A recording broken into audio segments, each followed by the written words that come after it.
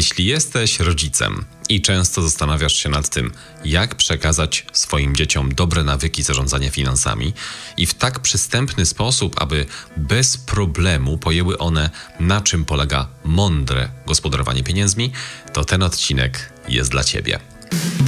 Nazywam się Grzegorz Futyma i w tym podcaście rozmawiam z przedsiębiorczymi Polakami z całego świata. Wyciągam od nich sekrety, które pomogły im osiągnąć sukces i gotuję z nimi dawkę inspiracji i motywacji dla Ciebie. To jest odcinek 40, w którym wspólnie z naszym gościem porozmawiamy o dobrych i złych nawykach zarządzania pieniędzmi. Skąd się te nawyki biorą oraz jaki mają wpływ na osiąganie finansowego sukcesu. Nasz dzisiejszy gość szybko musiał wziąć odpowiedzialność za swoje finansowe utrzymanie. Świeżo upieczony maturzysta podjął decyzję o wyjeździe do Szkocji, aby zadbać o potrzeby swojej młodej rodziny. Jak opowiada, szybko zarył głową o dno z powodu nieodpowiednich nawyków finansowych, dzięki którym znalazł się w długach, z których wydawało się nie było już wyjścia. Okazało się, że nawyki, jakie wyniósł jeszcze z rodzinnego domu i ze szkoły, były niewystarczające, aby zbudować dla rodziny bezpieczeństwo finansowe. Wtedy z pomocą przyszła mu tak szeroko obecnie dostępna dzięki internetowi edukacja finansowa. Zaczął czytać książki, słuchać podcastów oraz subskrybować kanały na YouTube, które pomogły mu w wykształceniu w sobie nowych nawyków zarządzania nie tylko pieniędzmi, ale również swoimi emocjami. Dzięki tym nowym nawykom nie tylko zaczął w zawrotnym tempie spłacać swoje zadłużenie, ale wspiął się na najwyższe szczeble w swoim miejscu pracy i stał się cenionym i dobrze zarabiającym pracownikiem. Dziś jest autorem kilku już książek o tematyce finansowej dla dzieci. Książki są bogato ilustrowane, mają bardzo ciekawą fabułę, ale przede wszystkim są wspaniałym narzędziem dla rodziców do edukacji swoich dzieci w temacie pieniędzy oraz biznesu. Gościem Biznes Cafe jest dziś Arkadiusz Błażyca. Cześć Arek. Cześć Grzegorz. Zacznijmy od Twojej osobistej historii. Jestem ciekawy, skąd wzięła się Twoja pasja do właśnie finansów i do pisania książek na ten temat. E, wiesz co, no tutaj potrzeba jest matką wynalazków. E, ja zacząłem swoje dorosłe życie dosyć wcześnie, bo ja w wieku 19 lat zostałem tatą, zostałem ojcem. E, przyleciałem do Wielkiej Brytanii, no bo wtedy w Polsce jeszcze nie było tak dobrze, jak jest teraz. E, więc przylecieliśmy tutaj, życie było stosunkowo łatwiejsze. Tutaj też e, moja żona mieszkała e, na stałe, obecnie żona, wtedy jeszcze dziewczyna. No i zaczęliśmy dorosłe życie. Zaczęło się, że tak powiem, mieszkanie na własną rękę. Pierwsza praca taka, można powiedzieć, na, na kontrakt, na pełen etat, nie takie dorywcze, dotychczasowe prace, jak to bywało w Polsce. No i było fajnie, powiedzmy przez rok, rok, półtorej czasu, dwa lata było wszystko w porządku, te, te takie emocje związane z pierwszymi własnymi pieniędzmi, ta możliwość decydowania o nich e, samemu, no, no napawało to takim uczuciem, taki God mode tak zwany, tak, że jestem Bogiem, teraz ja decyduję o wszystkim. E, i było to fajne do pewnego momentu, aż zdałem sobie sprawę, że tak naprawdę nie ogarniam tych finansów do końca, bo w pewnym momencie zorientowałem się, że tak na dobrą sprawę wydaję więcej niż zarabiam. E, I, I, takim ciosem dla mnie było to, że ja nawet nie wiem, ile ja do końca zarabiam i nie wiem, ile do końca wydaję. E, więc no, no zwróciło się do tego, że usiadłem sobie, zrobiłem sobie taki rachunek sumienia, taki bilans zysków i strat E, I wyszło na to, że, że tak naprawdę ja nawet nie wiedziałem takich podstawowych pojęć jak budżet domowy, nie wiedziałem czym to jest, dlaczego to jest ważne, dlaczego to jest istotne, aby przeprowadzać takie, takie zestawienia regularnie. I, i, I doszło do takiego momentu, że ja po prostu spłacałem kartę kredytową e, kredytem lub kolejną kartą kredytową. I w tym momencie zapaliła się taka czerwona lampka, że no coś tutaj jest nie tak, że to raczej nie powinno być iść w tym kierunku. E, tym bardziej, że nie byłem już kawalerem, że byłem już ojcem, więc jako głowa rodziny też chciałem budować jakiś majątek. E, chciałem, chciałem coś przyszłości móc zostawić dzieciom, więc, więc no tutaj no jednak mając y, więcej strat niż zysków, no tutaj jednak zapalać ta czerwona lampka, lampka i, i zacząłem się zastanawiać po prostu skąd to się wzięło. No i bardzo szybko doszedłem do tego wniosku, że chodzi tutaj o brak takiej, takiej fundamentalnej edukacji finansowej, no bo obliczanie budżetu domowego uważam, że to jest coś, co, co każdy z nas powinien wynieść z domu, e, powiedzmy tak, powinien wypić to razem z mlekiem matki, e, że powinniśmy wiedzieć po prostu, ile wydajemy, ile zarabiamy. E, no i ja właśnie w tym momencie byłem, tak, no byłem dorosłym, takim niedorosłym, który, e, który nie wie nawet ile zarabia, tak, na ile sobie może pozwolić, jakie przyjemności, co, co, co jest potrzebą, a co jest zachcianką w naszym wypadku. odroczona gratyfikacja, takie pojęcia po prostu nie istniały, e, tym bardziej no, w świecie, który jednak nakręca nakręca tą całą konsumpcję i tak dalej, więc no tutaj odpowiadając na twoje pytanie, matką wynalazku, czyli matką wszystkiego, co robię, matką e, mojego zainteresowania się finansami, była potrzeba, tak? Czyli no taki, takie zarycie głową o dno e, i powiedzenie sobie, oho, to jest ten punkt, kiedy coś muszę zrobić, kiedy nie mogę dalej ciągnąć tej spirali.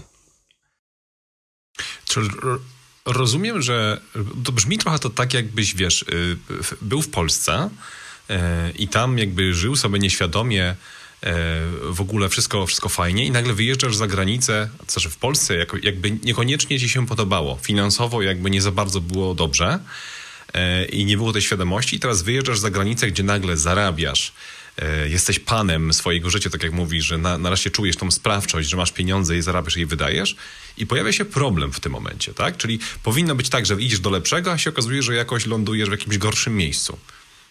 Tak, dokładnie. To znaczy, to, to jeszcze, jeszcze tak była ta sytuacja wyglądała, że ja w Polsce tak naprawdę nie miałem tego dorosłego życia. E, ja wyleciałem tutaj do UK świeżo po maturze, także ja w Polsce mieszkałem z rodzicami, e, byłem na utrzymaniu rodziców, nie miałem żadnej takiej, mm, można powiedzieć, pełnoetatowej pracy, to były gdzieś prace dorywcze pomiędzy, pomiędzy szkołą, czy to ja zacząłem też dosyć wcześnie praktyki zawodowe, w wieku 16 lat zacząłem pracować, ale to wszystko było na tyle małe pieniądze i na, tak, na tyle mały wymiar pracy, że to nie było jeszcze tak naprawdę, to był taki, taka wersja demo życia, można powiedzieć, tak, że e, przygotowywałem się, że liczyłem na to, że ta szkoła mnie przygotuje i w momencie jak ja wejdę w te dorosłe życie, to wszystko będzie w ogóle super i, i będę bogaty i będzie wszystko się jakoś ułoży. No a, a życie podziało sprawdzam, e, zostałem w młodym wieku tatą, e, bo 19 lat uważam, że to jest no super. Teraz z perspektywy czasu mówię, że to jest super wiek, bo wszystkiego tego się nauczyłem, co już teraz mam w głowie, ale wtedy no nie wiedziałem, z czym to się je tak naprawdę, jak wygląda te dorosłe życie i tak jak mówię, tak podstawowe pojęcia jak budżet domowy były mi obce. Mhm.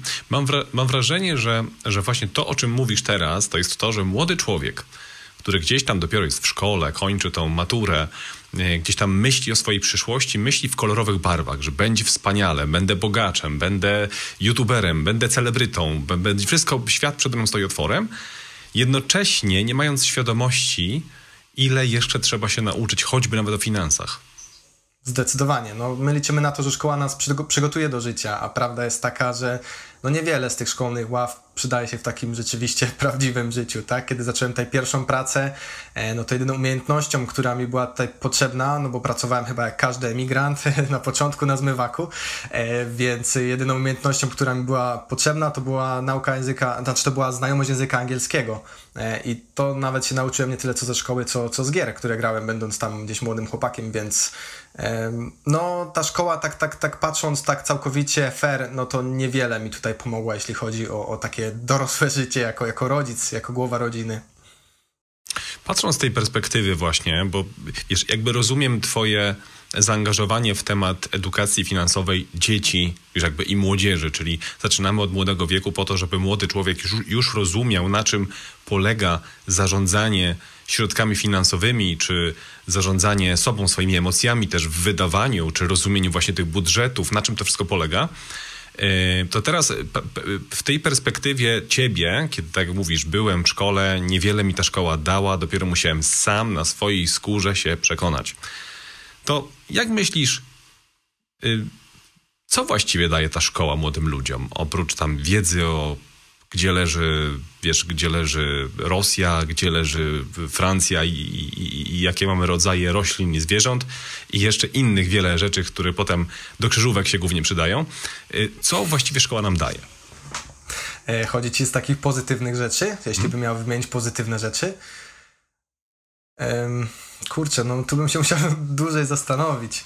E, na pewno szkoła uczy gdzieś tam kontaktów międzyludzkich, chociaż no też nie do końca bym powiedział, że, że to jest gdzieś tam w takim kierunku, jak to się odbywa w prawdziwym życiu, w życiu bo no, na przykład nikt w szkole nas za bardzo nie uczy negocjacji, ewentualnie no jak e, dostaniesz trójkę w szkole, a uważasz, że zdałeś na czwórkę, no to może negocjujesz z nauczycielem, ale wszyscy wiemy, jak to się kończy, e, bo to on jest panem i władcą.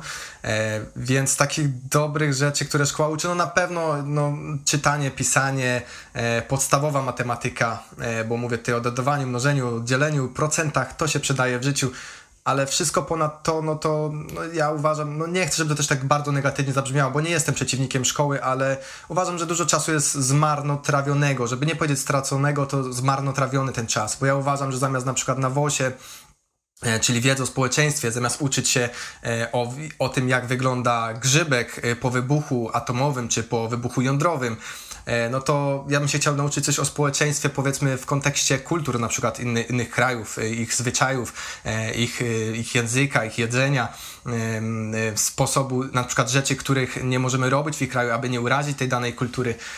Więc moim zdaniem to jest na przykład wiedza o społeczeństwie, bo no, no, dzięki Bogu jeszcze nie przydało mi się znajomość wyglądu wybuchu bomby jądrowej. jeszcze mi się to w życiu nie przydało i mam nadzieję, że nigdy mi się to nie przyda.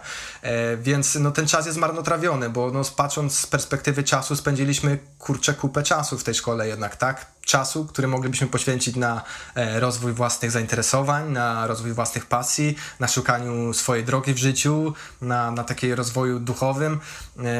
więc no, kurczę, no z dobrych rzeczy, które ja wyniosłem ze szkoły, na pewno są to znajomości. Tak mogę powiedzieć, podsumować. Mhm. I to, co słyszałem od ciebie, to właśnie bardzo fajne pokazanie tego, że szkoła daje nam podstawowe umiejętności, że jeżeli y, dzieciak w domu nie ma możliwości od rodziców nauczyć się właśnie matematyki, pisania, czytania, bo rodzice pracują, potrzebuje, potrzebna jest szkoła, żeby dziecko y, te podstawowe umiejętności zdobyło i to podstawową wiedzę typu dodawanie, odejmowanie, dzielenie, mnożenie, czyli te, te rzeczy. Y, I tak jak mówisz, no, no jest tam jeszcze trochę tej przydatnej wiedzy i kontaktów społecznych, ale pewnie czegoś brakuje. I tutaj za chwilę powiedziałeś, co byś widział mm, e, na tych lekcjach jeszcze, żeby się wydarzało, ale w konkretnym e, przykładzie finansów, w konkretnym kontekście finansów, czy myślisz, że szkoła powinna uczyć zarządzania e, finansami, czy szkoła powinna uczyć tych wszystkich budżetów i tego wszystkiego, czy może jednak szkoła nie jest najlepszym miejscem na to i to powinno odbywać się w domu? Ja powiem tak, że no trudno oczekiwać od szkoły, aby oni uczyli bycia majętnym, bycia bogatym, bo trzeba pamiętać, że tam są teoretycy, że nauczyciele to są tak jakby teoretycy i to nie są biznesmeni, to są ludzie, którzy pracują na etacie, więc no mm, teorii mogą nas nauczyć gdzieś tam i czy powinni oni uczyć, kurczę, no, no nie wiem, czy tacy ludzie się powinni brać. Ja uważam, że człowiek przedsiębiorczy e, to jest ktoś, kto bierze e, życie w swoje ręce, tak? Przedsiębrać, czyli brać przed siebie, brać pełną odpowiedzialność za to. E, ja uważam, że szkoła nie uczyła, nie uczy i nigdy nie będzie uczyć właściwego zarządzania pieniędzmi.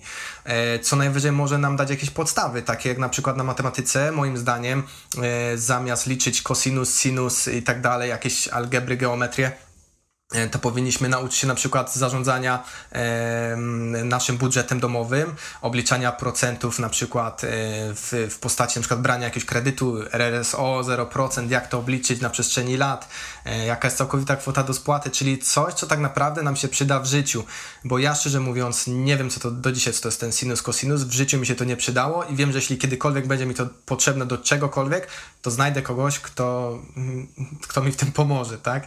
E, e, takie rzeczy jak obliczanie procentów kredytu, no to, to na przykład uważam, że byłaby bardzo przydatna umiejętność.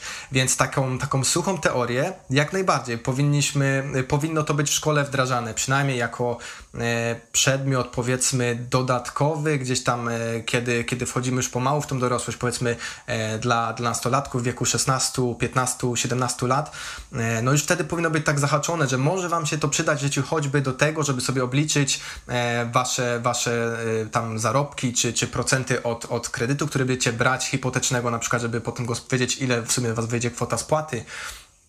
E, więc powinno być to potrzebne. Natomiast no, finanse to jest tak rozległe spektrum, e, to jest tak rozległa dziedzina, że jeśli chodzi o to o budowanie majątku, o zarabianie, zarządzanie tymi emocji i tak dalej, to ja jednak jestem tutaj takim zwolennikiem tego, aby brać to na swoje barki, jako my, jako rodzice, jeśli chodzi o naukę naszych dzieci, bądź też my, jako, no, my osobiście dorośli też musimy się uczyć na, na własną rękę, bo nas tego nikt nie nauczył i uważam, że tak będzie też w przypadku naszych dzieci. To wracając też do Twojej historii, do przeszłości jeszcze, wróćmy się z powrotem do tego czasu, gdzie tam byłeś w Polsce, byłeś uczniem, no niewiele wiedziałeś jeszcze o tym świecie finansów, e, czy zarządzania, czy budżetu. Mówisz, że szkoła Cię tego nie nauczyła, ale rozumiem, że w domu też takiej edukacji nie było. E, no widzisz, kurczę, i tak i nie. Ja uważam, że każdy z nas z domu wynosi jakieś dobre wzorce i jakieś złe wzorce. E, takim bardzo złym wzorcem, który ja wyniosłem z domu i tu przepraszam rodziców, jeśli to słuchają, e, ale myślę, że się ze mną zgodzą i to nie jest absolutnie ich wina, tylko to jest wina też poprzednich pokoleń, to jest to, że w ogóle pieniądze są owiane jakąś taką złą sławą, że to jest po prostu temat tabu, tak? To jest coś, o czym nie powinniśmy w ogóle rozmawiać. E, to jest tak jak w Harry Potterze był Voldemort, tak? Którego imienia nie można było wymawiać, tak? Uważam, że w domach polskich ciągle jeszcze pieniądze to jest taki temat tabu, że po prostu nie mówmy o tym, nie rozmawiajmy o tym. E, I to jest coś takiego, co ja wyniosłem, takiego negatywnego, można powiedzieć, z domu. E, aczkolwiek wyniosłem na przykład e, też dużo dobrego, bo na przykład kiedy mm, my nie mieliśmy, tak jakby nas było dużo w domu, ja mam sześcioro rodzeństwa, mam czterech braci, dwie siostry, więc to całkiem spora gromadka i nie, nie dostawaliśmy takiego regularnego, kieszonkowego, jak to się teraz mówi, za nic, takiego socjalu, nie dostawaliśmy, ale dostawaliśmy pieniądze za jakąś wykonaną pracę, czyli na przykład za umycie samochodu. Czyli tata zamiast jechać na myjnie, zamiast, zamiast dawać, zarobić komuś, wolał zapłacić nawet więcej, ale nam, żebyśmy my to zrobili, tak? Czyli, czyli jak ja chciałem wyjść do kina, czy tam gdzieś z chłopakami e, na miasto, no to żeby dostać jakieś 20-30 zł, no to najpierw musieliśmy umyć, posprzątać samochód, czyli fizycznie wykonać jakąś pracę. I uważam to za bardzo dobrą szkołę e, i zostało mi to do dzisiaj, że wiem, jeżeli chcę mieć więcej, no to jedną tą złą drogę już znam. Karty kredytowe na pewno to nie jest dobry wybór. Lepiej sobie najpierw zarobić, a, a potem wydać w tą stronę. Jak taki młody człowiek, e, który jest w domu i słyszy o tym, że nie rozmawiamy o pieniądzach, e, później gdzieś tam te pieniądze dostaje za pracę, rozumie w ogóle, na czym polega zarządzanie finansami, skąd się biorą pieniądze, dlaczego są ważne, dlaczego są nieważne, jak on to w ogóle wartościuje, jak on widzi te pieniądze, kiedy, kiedy obraca się w takim, w, takim, w takim temacie. Wiesz co, no ja w ogóle uważam, że nie ma czegoś takiego jak brak edukacji, w ogóle nie tylko finansowej. Jest coś takiego jak zła i dobra edukacja, bądź też dobre i złe wzorce. E, I prawda jest taka, że jeśli ty, rodzicu, słuchaczu, nie nauczysz swojego dziecka dobrych wzorców, to ktoś to zrobi za ciebie. Znaczy niekoniecznie tych dobrych wzorców, ale tak czy siak w umyśle dziecka, w umyśle młodego człowieka, bo to nie jest nie tyle, że dziecko, ale to jest młody człowiek, który potem będzie dorosłym człowiekiem. W umyśle młodego człowieka rodzi się mnóstwo pytań, na które szuka odpowiedzi. I jeśli on nie znajdzie tych odpowiedzi w zachowaniu rodziców poprzez obserwację, czy też w słowach rodziców poprzez rozmowę, e, to on takie odpowiedzi znajdzie w reklamach e, u rówieśników, po prostu ten przykład skądś przyjdzie. Ta odpowiedź, ta, ta jego ciekawość, ten głód na, na tą odpowiedź w końcu zostaje zaspokojony. E, tylko pytanie, czy to będzie dobra odpowiedź, czy, czy niekoniecznie dobra, tak? No bo wystarczy włączyć sobie telewizję na dowolnym kanale. E, jeśli, jeśli ktoś z Was ma telewizję, ogląda, no to reklamy, powiedzmy, to są podzielone na trzy części. Są albo, albo, e, albo to jest jedzenie, albo to są mm, tabletki, jakieś far, far, farmakologia albo są to kredyty. Także no, ta ciekawość na pewno zostanie zaspokojona. No i w tych reklamach e, widzimy tych szczęśliwych ludzi, którzy w końcu mają plan i go zrealizowali sami, bo se wzięli kredyt z Providenta i są tacy wszyscy szczęśliwi. E, no i czy to jest dobry wzorzec do tego, aby, aby powiedzieć dziecku, że aby spełnić swoje marzenia, e, to wystarczy wziąć kredyt na procent 120%, no niekoniecznie jest to dobry wzorzec. Więc takie dziecko, które wychodząc z domu wie, że w domu było, pieniądze były tematem tabu, czymś, o czym się nie rozmawia, e, czymś takim, mm, można powiedzieć, no kurczę, no negatywnym, tak? No bo jeśli się o czymś nie rozmawia, jeśli to jest tak owiane taką tajemnicą, no to znaczy, że to jest coś takiego wstydliwego, tak? Wstydliwe bądź nawet właśnie złe. Więc no automatycznie będzie od siebie odpychać e, temat tych pieniędzy i nawet możliwość e, zarabiania i tak dalej, w ogóle fokusowania się na, na, na budowaniu majątku. Więc uważam, że to no, no nie jest dobre. Ten, ten te, owie, owiewanie tych właśnie pieniędzy, opakowanie go w temat tabu, w coś wstydliwego, negatywnego, to jest no, bardzo duży błąd. Mhm. Ale teraz trochę przewrotnie zapytam, bo ty widzisz, tak jakby opowiadasz o sobie, że no, wyniosłeś z domu troszkę tych takich e, wzorców, które ci nie służyły później w zarządzaniu finansami, w rozumieniu tego. Znalazłeś się w sytuacji, gdzie byłeś już człowiekiem niezależnym, zarabiałeś pieniądze, miałeś rodzinę, miałeś dziecko, więc trzeba było teraz zacząć to wszystko zarządzać, żyć, rozwijać. No i się pojawiły, tak jak mówisz, problemy. Włączyła się czerwona lampka, jak to nazwałaś, że aha, coś się nie tak dzieje, spłacam kredyty kredytami, no ale, ale jak ty dotarłeś do tego, że to jest złe i niedobre? No bo skoro już dotarłeś do tej sytuacji, że brałeś te kredyty, żeby spłacać kredyty, co spowodowało, że powiedziałeś, o kurczę, to nie tędy droga. Wiesz co, no kurczę, to są takie podstawowe rzeczy, tak? Marzenia, no każdy chłopaczyna z bloków, jak to mówi klasyk, e, chce mieć fajny samochód i tak dalej i majątek, tak, no więc ja, ja jako głowa rodziny też miałem z tyłu głowy, że chcę coś tym dzieciom zostawić, tak? A żeby coś tym dzieciom zostawić, to trzeba najpierw coś mieć, a żeby coś mieć, no to saldo musi być na plusie, e, a te, a te moje saldo było jednak na minusie, więc no kurczę, dla, skąd wiedziałem, że spłacanie kredytu kredytem nie jest złe? No stąd, że na przykład jak E, chcesz żyć zdrowo, a odpalasz papierosa kolejnym papierosem, e, tym ten ci się kończy, a ty odpalasz następnego papierosa jeszcze od tego, no to niekoniecznie to też jest droga do tego, żeby być zdrowym. E, więc siedząc i paląc tego papierosa, myśląc tylko o tym zdrowiu, no nie będziemy zdrowi. I tak samo jest z finansami. Jeśli chcemy mieć jakiś majątek, jeśli chcemy coś zbudować i, i mieć, zostawić coś dzieciom i generalnie też żyć, bo to nie tylko chodzi o zostawienie coś dzieciom, ale też życie na jakimś poziomie, no to jednak musimy, musimy coś mieć i branie na to kredytu kredytów no niekoniecznie jest, jest dobrym e, rozwiązaniem. Mm, no i, i właśnie sto, i wtedy się pojawiła ta czerwona lampka, tak? W momencie jak wiedziałem, że no saldo jest jednak e, ujemne. Wtedy się to pojawiło wszystko. Czy to był taki moment, że ty po prostu sprawdziłeś saldo w banku i powiedziałeś, o, to jest to, jest to tak? Czyli to był ten moment zobaczenia minusa na koncie o określonej wartości. Wiesz co, to nie, był, to, nie był, to nie było tak, że ja się obudziłem w czwartek e, o godzinie 7 rano i sprawdziłem konto i mówię, o, o, coś jest nie tak. To było tak, że powiedzmy przez rok czasu to były takie jakby etapy, że okay, tu już zaczyna brak, brakować, kurczę, samochód się zepsuł, no i skąd wziąć na naprawę? No trzeba, kurczę, z debetu troszkę uszczknąć, tak? No ale ten debet się za chwilę kończy, kurczę, tutaj by się pojechało na jakieś wakacje, nie tylko do Polski, ale gdzieś dalej. No i kurczę, no ale, ale nie ma na te wakacje, ale znajomi jeżdżą na przykład, a pracują na tym samym stanowisku co ja. Dlaczego oni jeżdżą, a ja nie jeżdżę na przykład? Czy oni biorą więcej, więcej kredytów, czy oni może mniej wydają? E, I wiesz, zaczęła się taka rozmowa między sobą, taki, taki dialog wewnętrzny, który trwał e, przez, no kurczę, no dłuższy czas. To był, to był gdzieś rok czasu, gdzie, gdzie tak naprawdę ja widziałem te ujemne stany konta, ale tak na początku one mnie nie ruszały, no bo kurczę, no dobra, tu jest minus na karcie kredytowej, ale spłacę to z następnej wypłaty, tak? Tutaj się zrobił jakiś debet na koncie, no ale to spłacę z tej karty kredytowej. E, a teraz kurczę, mamy już tyle i tyle minusów, no to wezmę jeden kredyt, żeby to wszystko skonsolidować, e, żeby mieć mniejsze oprocentowanie. Taki cwaniaczek sobie po prostu wymyślił, że będzie płacić troszkę mniej. Także to był taki proces, aż doszedłem do takiego momentu, że mówię, kurczę, no ale tego nie można ciągnąć w nieskończoność, e, jednak trzeba coś z tym zrobić.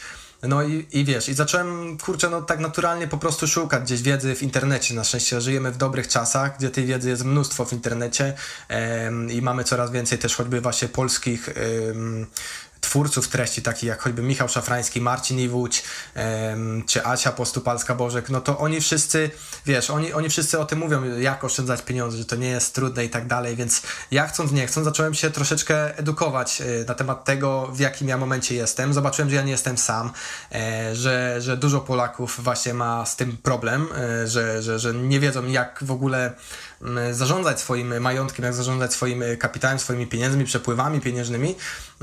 I że, no, że da się z tego wyjść, że to jest, że to jest nauczalne, że to, że to jest coś, z czym można sobie poradzić i że nie ma długów, których nie można wyjść, e, nie ma pieniędzy, których nie można zarobić. I to tak naprawdę wszystko zależy od tego, e, w naszych czasach przynajmniej, od tego, jak dużo my na to poświęcimy czasu e, i jak bardzo my będziemy chcieli zmienić ten obecny status, status quo, bo jeśli komuś odpowiada życie na kredycie, no to, to też są ku temu świetne predyspozycje, bo to, co teraz oferują banki, no nie wiem, czy kiedykolwiek w historii było tak tanio, jeśli chodzi o kredyty, tak? Także, no, jeśli ktoś chce być niewolnikiem banków, to ma do tego po prostu świetne predyspozycje. Świetne pole do popisu teraz, w tych momencie, kiedy są niskie oprocentowania, tylko brać. E, a co później? To już właśnie. Później pojawia się ten problem. E, skąd zapłacić za naprawę samochodu, a, a, a skąd pieniądze mają moi znajomi z pracy, którzy zarabiają tyle samo? E, powiedz, jak teraz z perspektywy czasu oceniasz, jak dawno temu to było? Jeszcze tak zapytam, ile lat minęło od tamtego czasu, kiedy było trudno? Um to znaczy, ja nie powiem, że już jest super. Jeszcze mhm. nie jestem milionerem, więc jeszcze nie jest super. Do, w zeszłym roku, e, tak troszeczkę paradoksalnie, w roku pandemii, tych, tych takich najgorszych, e, że tak powiem, czasów ogólnie, globalnie, to były najlepsze czasy dla mnie, bo ja właśnie spłaciłem dwie karty kredytowe. E, rok wcześniej spłaciłem dwa kredyty konsumpcyjne. E, pozbyłem się samochodu, który był na raty, e, więc najgorzej było, można powiedzieć, tak około 6 lat temu. O, około tak 6 lat temu ten cały proces się zaczął i potem przez kolejny rok, dwa, trzy no właściwie to do dzisiaj trwa, ale te pierwsze dwa lata były takie bardzo intensywne, czyli szukanie tej wiedzy, czytanie książek, czytanie blogów, y, bo już to, potem nie chodzi też o same oszczędzanie pieniędzy czy wydawanie, y, ale też z pustego Salomon nie naleje i to też należy o tym pamiętać, że E, no nie zaoszczędzimy za dużo, jeśli mało zarabiamy też, więc sam temat zarabiania pieniędzy też zaczął mnie bardzo interesować e, i z tego powodu też zacząłem słuchać e, podcastów, jeśli chodzi o zarabianie pieniędzy, z jakichś przykładów innych ludzi, którzy byli w podobnej sytuacji. Między innymi twój podcast też tutaj fajnie, fajnie się wpasował. To był mniej więcej właśnie ten okres. Trafiłem na spotkania Asbiro Investors w Sheffield organizowane przez Dawida Dowbusha, więc no wtedy ten, ten pierwsze dwa lata, około 6 lat temu to był taki najintensywniejszy okres. Ale to wszystko trwa do dzisiaj i dzisiaj mogę powiedzieć, że jestem w takim momencie, że jestem praktycznie wolny od długów i już tylko skupiam się na tym, żeby pomału budować ten majątek. Mhm. Widzisz, fajnie powiedziałeś, że to było 6 lat temu i teraz to, ten proces jakby spłacania tych kredytów, tych wszystkich zobowiązań ciągle trwa. Że to nie jest tak, że ktoś sobie nagle postanowi, że a dobra, to ja już więcej nie pożyczam. Kliknie palcami, dwa miesiące, wszystko jest spokojnie. Teraz trzeba ponieść odpowiedzialność. Odpowiedzialność za wzięte kredyty 6 lat temu ciągnie się bardzo, bardzo długo. E, a e, tak jak mówisz, jakby stworzenie jakiejś wartości nowej, zarobienie większej ilości pieniędzy już nie jest takie proste. Już, już trzeba się bardziej napracować. Ja chcę jeszcze zapytać właśnie o tą sytuację wtedy i jak porównujesz Wiesz, wtedy patrzyłeś na tych twoich znajomych, że oni jeżdżą na przykład sobie na wakacje, mają pieniądze na różne rzeczy, a ja nie mam, nie? Jakaś była przyczyna. E, otaczałeś się pewną grupą ludzi. Zastanawiam się, czy ci sami ludzie są również w gronie tych, którzy spotykają się na Zbiro u Dawida, którzy spotykają się w innych grupach, których ty teraz jesteś, czy już w ogóle zmieniłeś środowisko? Totalnie zmieniłem środowisko. Ci ludzie są w tym miejscu, w którym byli wtedy. Mm, czyli dalej jeżdżą tymi samymi samochodami, no może już lepszymi, nie wiem jak to tam teraz u nich jest, bo kompletnie zmieniłem środowisko. E, to wtedy pracowałem w jednej z takich typowych polskich fabryk na etacie, e, z której zresztą zwolniłem się w zeszłym roku. E, I, o, I to dziwo, ja wtedy, ludzie, do których się porównywałem, my pracowaliśmy na tym samym, na tym samym stanowisku, taki podrzędny magazynier gdzieś. E, i w przeciągu tego, tego właśnie czasu, kiedy zacząłem się edukować, kształcić, jeśli chodzi o zarabianie pieniędzy i tak dalej, to też e, to też Cię edukuje w takim jakby kontekście przedsiębiorczym, czyli czym w ogóle jest biznes, jak, jak funkcjonuje, skąd się biorą pieniądze, że Twoja praca tak naprawdę nie jest nic warta do momentu, kiedy dodaje wartość do jakiegoś biznesu, kiedy e, Ty nie pomagasz zarabiać pieniędzy, to to tak naprawdę te pieniądze tak się nie należą za to tylko, że ty spędzasz czas w danym miejscu. E, więc w momencie, kiedy zacząłem się edukować i, i tak naprawdę uświadamiać sobie, na czym polega w ogóle biznes, e, zarabianie, e, to ja się stałem lepszym pracownikiem o dziwo, tak? Także zaczynaliśmy na tej samej pozycji. Ludzie, do których się porównywałem, e, e, oni dalej są na tym samym stanowisku, którym ja byłem, a ja w tym czasie już przeszedłem przez trzy albo cztery szczeble w tamtej fabryce. Ja zostałem najpierw, wprowadzałem dane do systemu, takim, takiego, taka mini, mini księgowość, potem zostałem menadżerem systemu operacyjnego, potem zostałem menadżerem produkcyjnym, więc no, przeszedłem przez kilka szczebli do takiego momentu, że zaryłem o sufit i, i, i decyzja była albo idę dalej, albo opuszczam ten statek, e, bo jest takie fajne powiedzenie, że jeśli się wspinasz po drabinie sukcesu, upewnij się, że jest oparta o właściwy budynek. No i na szczęście doszedłem do wniosku, że ta była oparta o niewłaściwy budynek, no ale musiałem gdzieś wejść, e, wychylić się za ten dach, zobaczyć co tam dalej jest i żeby zdecydować, że z niej schodzę i stawiam drabinę w innym miejscu. Czyli ty mówisz, że to twoje poszerzenie wiedzy na temat finansów, na temat zarządzania pieniędzmi, jakby zmieniło się w innego pracownika, w innego człowieka, który nagle piął się po szczeblach kariery w miejscu, w którym był. Dokładnie. Z czego to wynikało? Wynikało to z tego, że choćby zacząłem zadawać sobie pytanie, e, skąd się biorą pieniądze. To jest, to, jest, to jest banalne, ale człowiek, który pracuje na linii, ja pracowałem w fabryce produktów spożywczych, produktów rybnych, różne takie rzeczy robiliśmy. E, no i człowiek, który tam pracuje i sobie coś tam pakuje do tej paczki, no to go tak naprawdę nie obchodzi, skąd się bierze jego wypłata, tak? Y, skąd, zanim ona trafi na jego konto, skąd ona, ona musi przyjść, jakie, jakie transakcje zachodzą, czyli że ten produkt wychodzi z tej fabryki i on musi jakoś wyglądać, on musi spełnić jakieś y, standardy jakości, żeby był zgodny ze specyfikacją, e, on musi dojść do klienta w danym umówionym czasie, w danym terminie, klient musi go spróbować, musi mu smakować, on musi wyglądać jakoś wizualnie, musi być odpowiedni marketing i tak dalej, jakieś promocje i to wszystko jest połączone dopiero w momencie, kiedy klient zapłaci za ten produkt, e, tak naprawdę fabryka ma pieniądze, żeby zapłacić wtedy pracownikowi. E, więc samo to uświadomienie sobie tego, e, że my produkujemy coś, za co ktoś płaci i skąd te pieniądze się biorą nasze, to już mi dało taki bardzo duży, że tak powiem, otworzyło nowe horyzonty w, moim umyśle, w tym, co ja widziałem w tej fabryce. Więc ja zacząłem zauważać miejsca, w których marnotrawi się pieniądze na przykład. Puste przebiegi ludzi. E, zauważyłem miejsca, w których możemy zaoszczędzić pieniądze, bądź możemy zarobić pieniądze. E, zauważyłem, powiedzmy, analizując jakieś tam e, stany magazynowe, zauważyłem produkty, które możemy użyć, aby, aby po prostu one nie leżały, tylko jest z nich coś wyprodukować, bądź sprzedać dla innych przedsiębiorstw i tak dalej. E, I robiłem to cały czas, będąc na tej takiej bardzo podstawowej pozycji, jako ten podstawowy, podrzędny magazynier. E, I, i pomału zaczęli to zauważać wyżsi menadżerowie, tak? Także na przykład, kiedy z magazynku, e, którym ja zarządzałem, powiedzmy, zrobiłem jakiś, jakiś remament, wyrzuciłem opakowania, które nie są potrzebne, dzięki temu zmniejszy się czas potrzebny na, na skompletowanie danego zamówienia, to menadżerowie zaczęli to zauważać i, i doceniać, tak? Zaczęli to pchać dalej. Awansując mnie też poniekąd, bo, bo wiedzieli, że po prostu ta praca, którą ja wkładam, to nie jest już zwykłe, że ja tam przychodzę na 8 godzin i, i tam jestem, tylko ja moją pracą wkładam jakąś wartość, czyli ja robię coś, dzięki czemu fabryka jest w stanie zarobić więcej pieniędzy. I to jest policzalne, to jest sprawdzalne, e, to, to każdy może mieć do tego wgląd historyczny. E, także także tak, tak to jakoś wynikło z tego. No, no tak, ale wiesz. Yy jakby nie chcę generalizować, ale pracownicy, wydaje mi się, w większości, w większości, no właśnie nie chcę generalizować, ale być może tak jest, być może tak nie jest, nie wiem. Sprawa sporna. Yy, wydaje mi się, że pracownicy bardziej myślą w ten sposób, że przychodzę tutaj na 8 godzin, mam płacone stałą stawkę za godzinę taką i taką, jakby Podwyżka to jest kwestia, hmm, nie wiem, no może gdzieś tam podwyższą e, najniższą krajową, więc mi troszkę podwyższą, albo może mi się uda gdzieś tam skoczyć wyżej, e, ale to, e, żeby nagle zacząć się starać e, i robić jakieś tam rzeczy ekstra, nie te, które mi tylko proszą, że proszę tutaj przekładać to stąd i tyle, rób sobie swoje, tego szukanie sobie zajęcia i szukanie usprawnień, czyli ty de facto tak jakby na twoim stanowisku pracy stawałeś się przedsiębiorcą jakby, który pracuje dla tego przedsiębiorstwa. Coś, coś takiego. Jakby taka... I teraz, czy to było intencjonalne, że, że hmm, porobię tutaj i dadzą mnie wyżej, tak? To już jakby szukałeś tego. No tak, widzisz, to się fajnie wszystko spina teraz, bo tu musimy wrócić do momentu, kiedy ja sobie zrobiłem ten bilans moich prywatnych y, zysków i strat. E, no i ja, tak jak wspomniałem wcześniej, y, uważam, że oszczędzanie, wydawanie to są bardzo ważne, kluczowe elementy, ale z pustego Salomon nie naleje.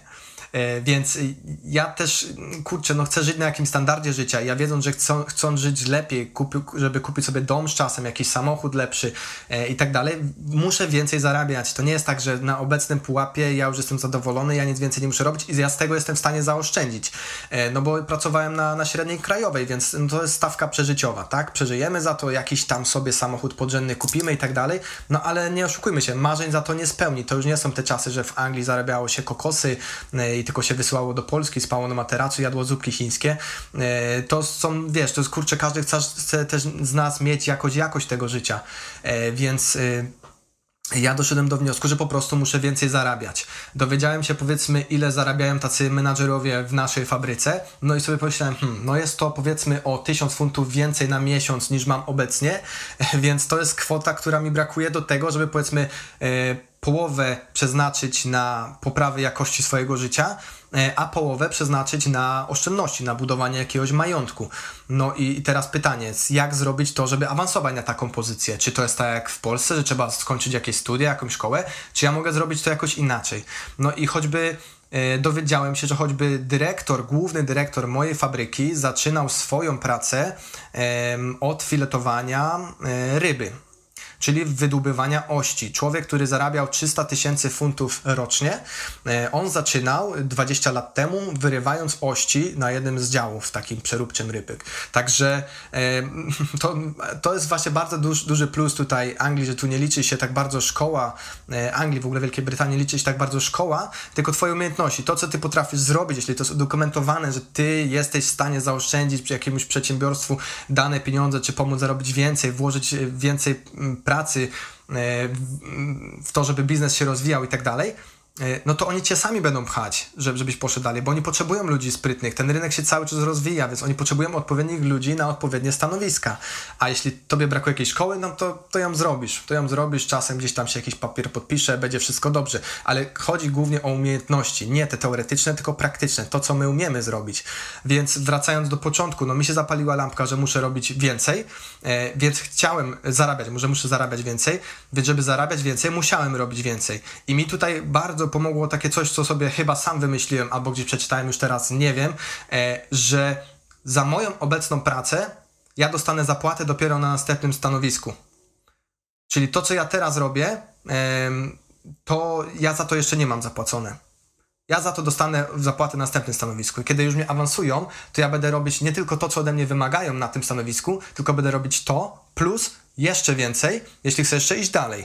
Będę robić to plus jeszcze więcej i za to dostanę dopiero zapłacone na następnym stanowisku.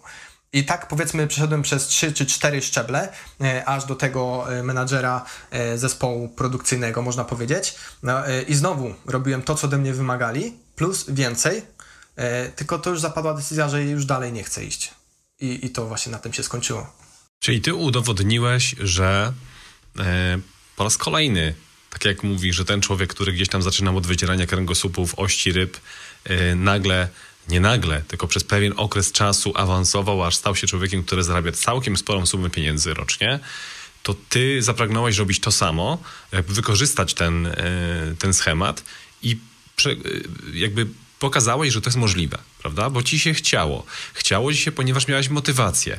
Motywację miałeś taką, że no nie dość, że miałeś gorszą sytuację finansową, to też nie widziałeś jakiejś takiej fajnej perspektywy na przyszłość dla siebie, jeżeli zostaniesz tam, gdzie zostaniesz.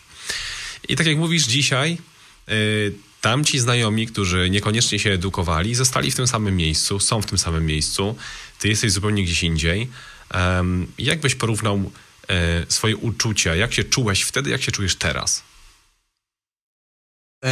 Teraz widzę przyszłość, świetlaną przyszłość. Widzę to, co się może wydarzyć nie tylko przez perspektywę marzeń, ale przez perspektywę planu, który po prostu trzeba zrealizować. Przez taki proces, który wystarczy, że go zrealizujesz, wykonasz e, raz lub dwa, e, i tak naprawdę te życie może być takie, jak sobie zaplanujemy, nie zamarzymy, bo Marzenia to jest takie słowo, kurcze, które no chciałbym, chciałbym, chciałbym, żeby tam marzę sobie o tym, żeby jeździć sobie kamperem po świecie, ale by było fajnie jeździć kamperem po świecie, nie musieć wstawać codziennie o 6, tylko kiedy się wyśpisz. I to jest takie, wiesz, to jest w takiej sferze leży takich... Mm, no kurczę, nie wiem, czegoś nieosiągalnego, taki, tak, ten jednorożec, tak, tam gdzieś na końcu tęczy stoi przy garnku złota razem z tym krasnalem i to fajnie jakby tak było, ale tak nie będzie. No, I tutaj wracam do roboty, bo, no, bo, bo pochodzę z domu wielodzietnego i nie dam rady, no, to, to, to nie istnieje takie coś. E, więc teraz ta perspektywa, e, te uczucia, które mam teraz w sobie, ja wiem, że to jest osiągalne, że to jest możliwe i że to wszystko zależy od nas, że to jest w naszych rękach, to co my osiągniemy, to dokąd dojdziemy, to ile będziemy mieć, co zostawimy dzieciom, co zostawimy ogólnie e, światu, jakby, jakby ślad po sobie, który zostawimy, to wszystko leży w naszych rękach. Nie ma rzeczy niemożliwych. Jeśli jeśli coś już istnieje, to jest 90% prawdopodobieństwa, że to osiągniesz, e, tylko jeśli będziesz bardzo mocno tego chciał i robić coś w tym kierunku, żeby to osiągnąć. A jeśli, jeśli chcesz czegoś, co jeszcze nie istnieje, ale może istnieć i masz na to niezbite dowody, to jest znowu jest tak, tak samo duże prawdopodobieństwo, że, że to osiągniesz, jeśli tylko będziesz to robić konsekwentnie i, i mocno w to wierzyć. Także mhm. wtedy myślałem, że no kurczę, nie wiem, coś by się musiało stać, tak? Lotka bym musiał wygrać, żeby było tak jak chcę. No a teraz już wiem, że to tak nie jest, że to po prostu tylko od nas zależy. Także mam pomoc sprawczą. Tak, kwestia tego, że to jest twój plan i go realizujesz. I zaraz przejdziemy do twoich planów, bo tutaj sporo się dzieje w twoich planach i w ich realizacjach, ale jeszcze jedno pytanie. E, wyobraźmy sobie, że znowu jesteśmy w tej fabryce, e, w której pracowałeś i, i, i tam stoi taki człowiek, podobny do ciebie wtedy, który przekłada tam coś i myśli sobie tak, mama i tata mówili, że pieniądze są nieważne ojejku, znowu muszę się zapożyczyć, bo żeby sobie kupić coś tam innego, nie? I tak, co by to wykombinować?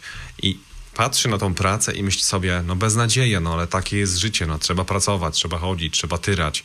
I jakby ten człowiek nie widzi za bardzo, nie wierzy w to, że można pójść wyżej, że można jakąś wartość stworzyć, nie widzi siebie w roli takiego przedsiębiorcy albo kogoś, kto robi coś więcej. Wiesz, no bo in the end of the day ktoś musi te kręgosłupy wyciągać z ryb. I że to jest tak, że ciągle te osoby się muszą zmieniać i uczyć, czy są takie też, które mogą tam zostać. Tylko, że są takie, które tam zostają i są szczęśliwe, ale są takie, które nie są szczęśliwe i o tych dzisiaj mówimy. Co byś im powiedział? Tym, którzy są nieszczęśliwi. To bardzo fajnie powiedzieć, fajnie, że to wybrzmiało, bo ja uważam, że nie każdy musi mieć takie ambicje gdzieś i tak dalej, bo ktoś może być zadowolony z pracy na etacie, bo ja też nie demonizuję pracy na etacie, ona jest ok. E, jeśli chcesz przyjść rano, odbić kartę, zrobić swoje, odbić kartę, wyjść, jak najbardziej. Są etaty, które, na których się też dobrze da zarobić, więc, więc to też jest jak najbardziej ok. Ale ludziom takim ambitnym, które są e, w miejscu, w którym, którym niekoniecznie chcą być, jeśli ta praca nie sprawia ci przyjemności, jeśli nie czujesz się spełniony, jeśli nie czujesz się doceniony w swojej pracy, e, jeśli zarabiane pieniądze, jeśli praca jest ok, ale zarabiane pieniądze nie są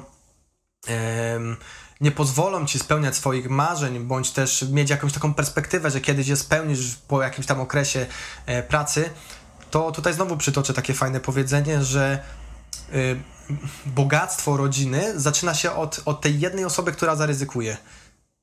Że powiedzmy, na przykład rodzina Rockefellerów na przykład, to też do jakiegoś momentu powiedzmy to był ród, który sobie jakoś tam żył, aż gdzieś ktoś postanowił zaryzykować, zrobić coś inaczej niż dotychczas, e, inny schemat. To, że dziadek zawsze był tam kowalem, to nie znaczy, że ty też musisz być kowalem, tak? To, że twoi rodzice całe życie przepracowali na etacie, e, to nie znaczy, że, że ty też tak musisz zrobić. Jeśli chcesz być przedsiębiorcą, chcesz spróbować, to zrób to. Po prostu zrób coś w tym kierunku. Po pierwsze, ustal sobie jakiś tak, jakby taki złoty punkt, miejsce, do którego chcesz dojść E, zastanów się, co musisz zrobić, żeby, żeby tam dojść, jakie są po kolei etapy, ale zrób ten przede wszystkim ten pierwszy krok, zrób cokolwiek i po prostu spróbuj, zobacz. Tak, tak, tak bym powiedział. I bardzo fajny też taki cytat przeczytałem z którejś książek. Nie szukaj pracy, planuj życie. To jest coś, co staram się nauczyć moje dzieci właśnie. Nie szukaj pracy, planuj życie. Mhm. Praca dla samej pracy nie jest niczym wspaniałym. Praca uszlachetnia, jeśli wnosi wartość w twoje życie lub w życie innych ale praca dla samej pracy nie jest niczym wspaniałym. Mhm. Świetnie, to są słowa do ciebie, jeżeli słuchasz nas teraz i jesteś nieszczęśliwy, nieszczęśliwa przy taśmie, nie wiem, przy, przy tam, gdzie pracujesz dzisiaj i mówisz, mam tego dosyć, e, chcę czegoś więcej. Więc e, warto się zainspirować tym, e, co powiedział Arek. I jeszcze jedno pytanie zadam ci, Arko, które może tutaj dużo rozwiązać, bo wydaje mi się, że znamy na nie, na, nie, na nie odpowiedź, ale być może mamy inne troszkę spojrzenie. Zobaczmy. Ten człowiek, który się tam znalazł i jest nieszczęśliwy, znalazł się tam z jakiegoś powodu. No bo jeśli ktoś, tak jak mówisz, planuje życie, nie szuka pracy, tylko planuje życie od młodego, wie, w którym kierunku idzie, i, i, i, ma jakieś te swoje predyspozycje i je wykorzystuje, to powinien kroczyć krok po kroku tam, gdzie chce, powinien być szczęśliwy na każdym z tych etapów, tak? Natomiast tam znalazła się osoba, która nie jest szczęśliwa. Dlaczego tak się dzieje, że tyle jest osób, które pracują, bo muszą, a nie dlatego, że chcą? Wiesz co, no tutaj życie właśnie weryfikuje, bo my możemy mieć jakieś tam swoje właśnie te plany, że no ja chciałem być raperem, tak, chciałem zwiedzać świat, jeździć, grać koncerty, em, gdzieś tam karmić się tym fejmem i tak dalej. I nie, nie wykluczam, że może kiedyś będzie tak, że wrócę do muzyki, bo, bo to był etap taki, który zacząłem i tam nawet z małymi sukcesami, ale, ale nie poszło to dalej, nie, nie Życie powiedziało sprawdzam, tak? Czyli chcesz być tatą, chcesz wynajmować mieszkanie, chcesz mieć samochód, no to jednak musisz iść do pracy. Musisz mieć jakiś stały przychód. I zanim tak naprawdę zaczniesz zarabiać z tego, co cię gdzieś pasjonuje i tak dalej, e, no to to jest droga, którą, no, która nie jest tak do końca taka łatwa. E, prowadzenie jakiegoś swojego biznesu czy, czy, czy coś, to jest coś, co, co, czego trzeba się też nauczyć to jest ciężka praca. Tak samo jak praca fizyczna, ja uważam, że, że prowadzenie biznesu to jest ciężka praca. To jest yy, łatwe, yy, ale nie jest, czy inaczej, jest proste, ale nie jest łatwe. Yy, w ten sposób. Y, więc kurczę, nie wiem, jakby to pod, podsumować w takich, takich y, dwóch zdaniach. Jeśli.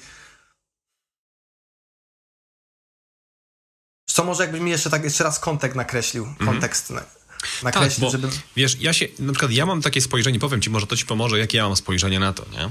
Że wydaje mi się, że osoba, która znajduje się w miejscu, w którym nie jest szczęśliwa i pracuje, bo musi e, i po prostu nie potrafi się z tego wydostać, jest po prostu zablokowana e, emocjonalnie e, i, i, i myślowo przez to, że została tak zaprogramowana, że ona ma coś innego w sercu, ale działa w schemacie schemacie, które gdzieś tam wniosła z domu, ze szkoły, z tego otoczenia. I ona w tym schemacie się nie odnajduje, ale w nim funkcjonuje. E, I dopóki się nie wyrwie z tego schematu, a żeby się wyrwać, potrzebny jest jakiś impuls, coś innego, e, ale u ciebie to była ta czerwona lampka i inne rzeczy, to wtedy odnajduje powiedzmy tą swoją drogę, nie? Więc jak ja tak to widzę, że to jednak większość osób, które gdzieś tam nie są szczęśliwe w pracy, to, to, jest, to jest coś, co jest jakby fundamentalnie niezadbane wcześniej i potem są tego efekty. Tak, tak, tak, zgadzam się w 100%. I widzisz, wracamy tu znowu do tego właśnie dzieciństwa, do, do tego, czego, co mamy w głowie, te wzorce. Coś, co siedzi w nas głęboko. Taki nasz roadmap, to, co mamy w głowie zaplanowane, to te nasze przekonania. Przekonania tutaj są słowa, to słowo klucz. To, co my gdzieś tam mamy zaprogramowane, tak, że my byśmy chcieli żyć w taki sposób, ale no przecież moi rodzice całe życie pracowali na etacie, przeszli na emeryturę i teraz mogą e, powiedzieć, że no widzisz, kurczę, opłacało się tyle pracować, bo teraz emerytura, a teraz nie trzeba pracować.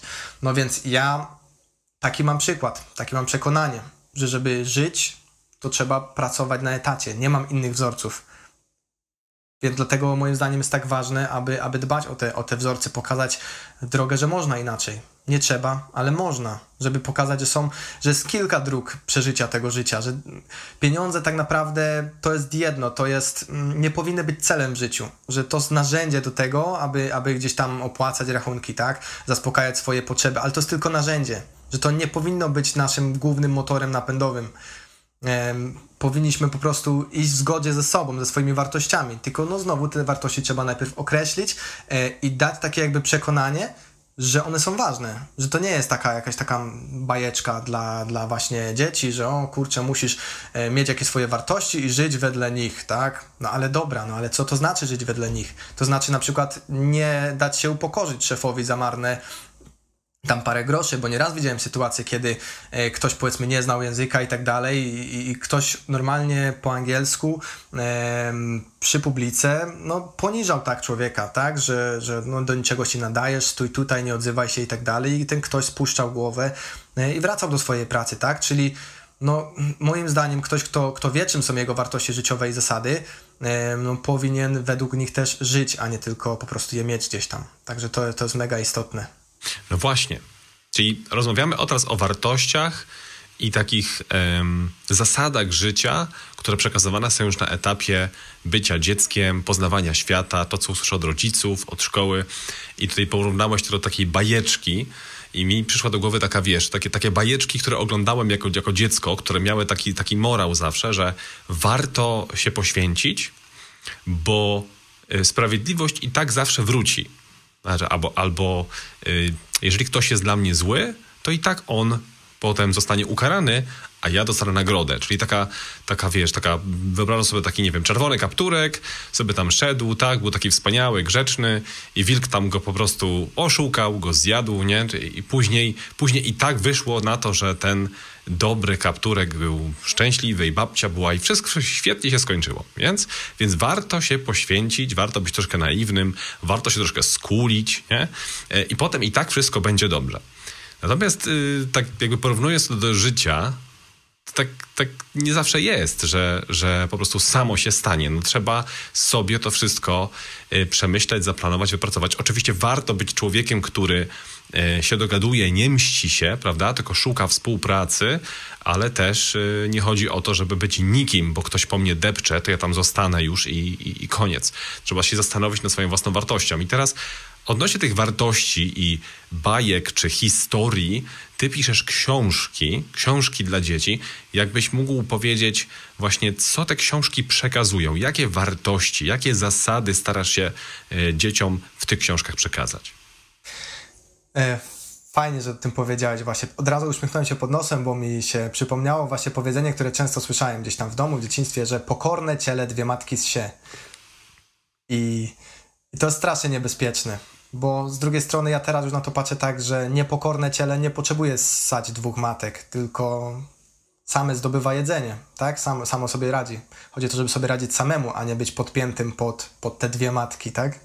E, może nie tyle, że niepokorne, ale przedsiębiorcze ciele samo daje sobie radę, bo przedsiębiorca, bycie przedsiębiorczym, a bycie przedsiębiorcą to nie są dwie te same rzeczy, bo tak jak wspomniałem wcześniej, można pracować na etacie i, i, i żyć w zgodzie z sobą, tak, i dobrze zarabiać, więc to nie trzeba być przedsiębiorcą, ale, ale te przekonania, tak, te wartości, o których, o których mówimy tutaj, to jest coś, co często my słyszymy w dzieciństwie, coś powtarzane wielokrotnie, to się tak głęboko gdzieś w nas wchodzi w naszą podświadomość, w te nasze przekonania, tą naszą roadmapę, że my zaczynamy tym żyć.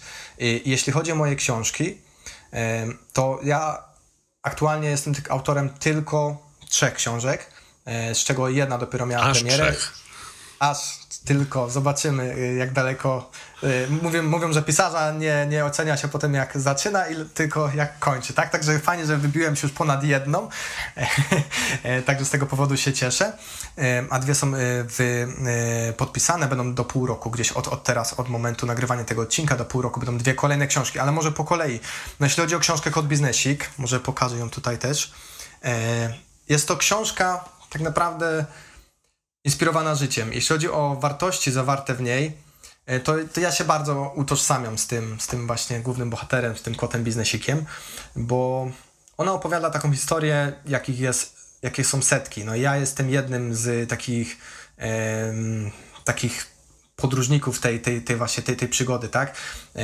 to jest historia o kocie, który kończy standardową edukację, i idzie do pracy na łowisko do pana etata. Tak jak jego rodzice, oni przepracowali tam całe życie, mówili, że to dobra, stabilna praca, która pozwoli mu po prostu żyć i będzie fajnie. No i ten kot biznesik zaczyna tą pracę, owszem, jest zadowolony, tak, bo ma swoje ryby, wszystko jest fajnie, ale pewnego dnia zdaje sobie sprawę, że ilość wyławianych przez niego ryb, no, jest ok, pozwala mu żyć, ale nie zapewni mu tego, do czego on, on, on, on dąży, nie, nie pozwoli mu spełniać marzeń. I w momencie, kiedy pojawi się kotka i małe kotki, no to chcąc spełniać jeszcze marzenia właśnie całej rodziny, no naprawdę tych ryb jest y, troszkę mało, bo z wszystkich 10 wyłowionych przez niego ryb tylko 4 trafiały do, do niego, a reszta szła na utrzymanie łowiska i tak dalej, i tak dalej.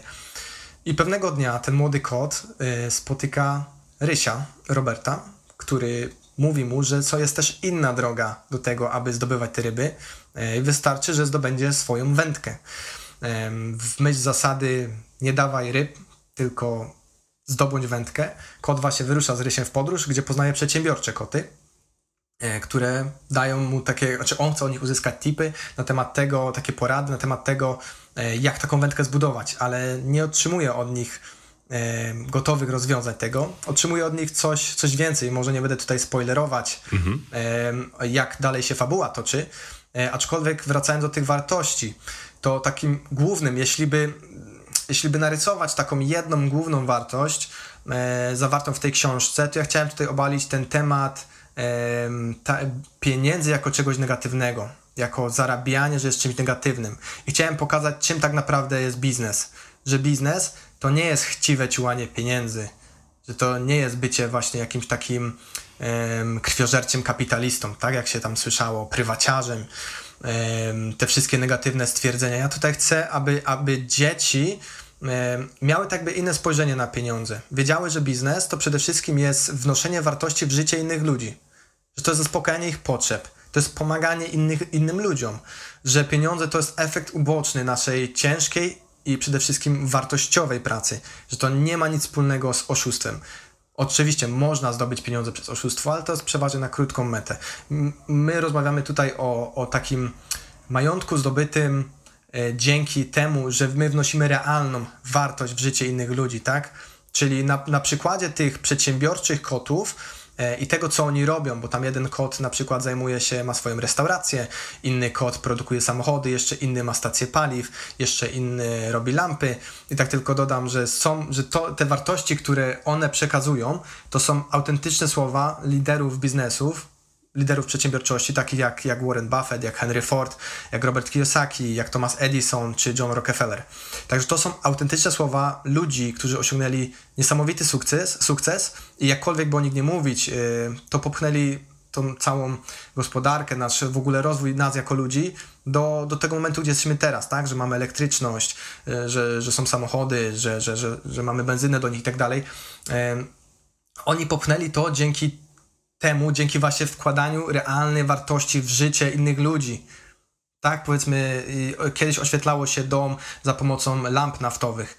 E, I, i, I owszem, było to fajne, bo mieliśmy te światło w, w nocy, tak? Nie musieliśmy, e, tam nie napadały nas zwierzęta już, tak? Bo mieliśmy jakieś światło, zwierzęta się bały. Owszem, no ale pojawił się problem, kiedy e, wiele gospodarstw domowych się na przykład spaliło ze względu na to, że, że to był otwarty ogień. No i no, powiedzmy tutaj przyszedł nam e, z pomocą Thomas Edison elektryczność, e, czy, czy Nikola Tesla z, z żarówkami i tak dalej, gdzie oni znowu rozwiązali jakiś problem.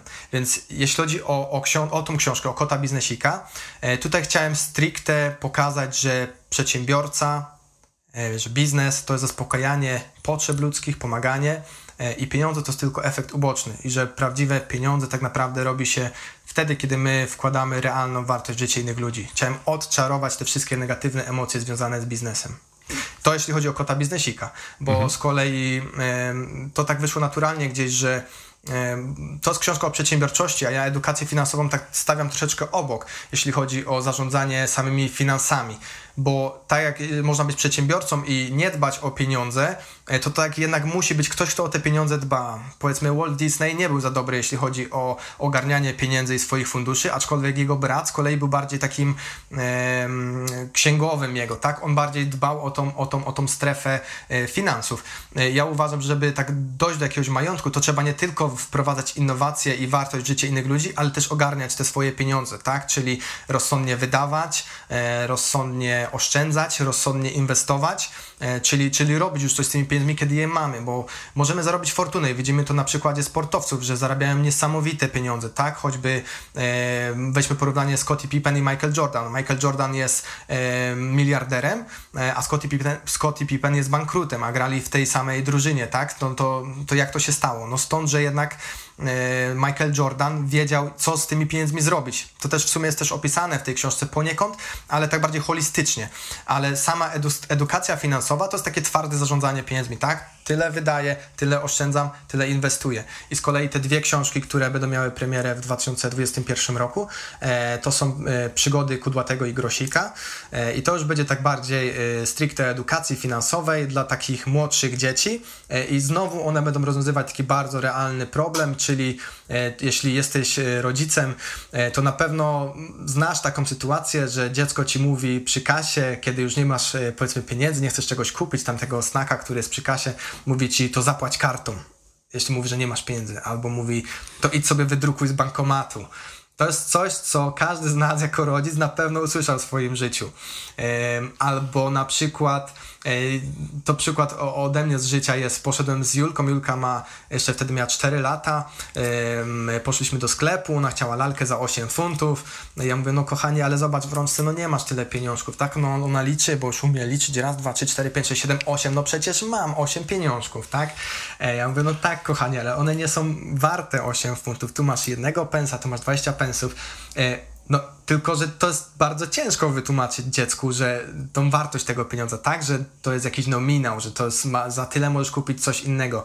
E, więc te moje dwie nowe książki, które będą, one będą opisywać właśnie e, te takie problemy nasze codzienne, życiowe problemy, które każdy rodzic ma, czyli wartość pieniądza, e, skąd się biorą pieniądze w bankomacie, e, że płatności kartą też tak jakby drenują nasze, nasze, nasze konto. E, I to będzie przekazane znowu, tak jak w przypadku kota biznesika, będzie to przekazane za pomocą ciekawej historii. Czyli na przykład y, wartość pieniądza będzie porównana tutaj do takich siłaczów, że pieniążek, y, który jest grosikiem, może podnieść y, coś mniejszego niż pieniążek, który jest na przykład złotówką, to ta złotówka ma wartość, ma siłę taką fizyczną, jakby może podnieść do koszyka nam tyle, ile 100 takich małych grosików. Także tutaj chcę znowu przez taką e, zabawę, przez taką ciekawą historię, przez coś interesującego, przez mnóstwo ilustracji, e, chcę, aby to zostało w głowie, bo teoria z teorią, a to historia zostaje w głowie. Mm -hmm. Świetnie, świetnie opisujesz te książki. Chcę się je czytać. E, bo, bo, bo w ogóle się zastanawiam, skąd ty te pomysły czerpiesz, żeby tak to opisywać w taki sposób. Wiesz, tutaj kod biznesik, tutaj cytaty e, ludzi, przedsiębiorców, e, którzy zmienili świat. Te wszystkie rzeczy są niesamowite i pewnie bym jeszcze o tym porozmawiał, ale mam jeszcze kilka innych pytań dotyczących samego, samej edukacji, wiesz, bo bo te książki, dlaczego one powstają, dlaczego ty je robisz, to wiemy, bo już o tym rozmawialiśmy dzisiaj na początku, bo brakuje tej edukacji wśród dzieci, tej edukacji właściwej. I potem są te wzorce, które niestety powodują, że ludzie są nieszczęśliwi i pracują, a nie chcą tak pracować i, tak, i wpadają w długi i te wszystkie sprawy, tak? I zauważyłem, że jakby często odnosiłeś się do przedsiębiorczości, a teraz też powiedziałeś, że to niekoniecznie to jest tylko i dla przedsiębiorców droga. To jakby ym, Ktoś, kto nie chce być przedsiębiorcą, mieć własnego biznesu, bo to jest, tak jak wspomniałeś, ciężka praca, też skorzysta na edukacji finansowej, bo na przykład wie, jak oszczędzać, wie, jak wydawać, wie, w jaki sposób zarządzać tymi pieniędzmi, tak? Bo co z tego, że na przykład, tak jak powiedziałeś, można zaoszczędzić dużo pieniędzy, jak się nie wie, jak je wydać, jak je zainwestować, w jaki sposób nimi zarządzać, żeby one nie zginęły o tak po prostu, nie? Więc znając y, y, te rzeczy, jakby dziecko, które już się uczy tych rzeczy, e, widzi pewne przykłady, bardzo skutecznie e, wprowadza je w swoje działanie. To jest jakby instalowanie w tym fundamencie tych takich bardzo ważnych kamieni węgielnych, które utrzymują to później stabilnie, że ten dom się nie wali. Nie? Tak to rozumiem. I teraz pytanie ponieważ no, zakładamy, że rodzice sami no, nie radzą sobie z tym przekazaniem tej właściwej edukacji finansowej. Jakie dostrzegasz, dostrzegłeś błędy, które popełniają rodzice najczęściej w tej edukacji finansowej dzieci? Takim no, podstawowym, pierwszym, jednym, największym, ogromnym i właściwie jedynym, którym by można było tutaj zarysować, jest właśnie nierozmawianie o pieniądzach. Tworzenie z tego takiej otoczki, tego tematu tabu rodzicu, posłuchaj, jeśli, czego nie, jeśli czegoś nie wiesz, to jest internet, który jest wspaniałym narzędziem i tam jest wszystko. Kiedy dziecko cię o coś pyta, nie musisz być alfą i omegą i nie bój się tego, że czegoś nie wiesz. Jeśli pytać na przykład, co to jest inflacja, bo gdzieś tam usłyszało w telewizji, tak, że mamy tutaj galopującą inflację no i co to jest. Jeśli czegoś nie wiesz, jest mnóstwo narzędzi, które ci w tym pomogą. Są książki, które e, od dłuższego czasu zbieram na swojej stronie.